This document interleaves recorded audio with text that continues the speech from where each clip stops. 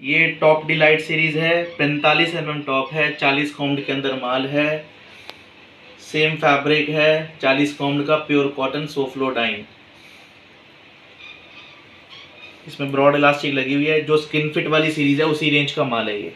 उसमें इलास्टिक में डिज़ाइन डला हुआ है, इसमें डिज़ाइन नहीं डला हुआ, ये प्लेन है, बिल्कुल सॉलिड टमी टक्कर की कैटेगरी में आप इसको डाल सकते हो forty five M M top है ये। Navy maroon olive black red butter क्वाइश छः कलर का चार्ट है ये।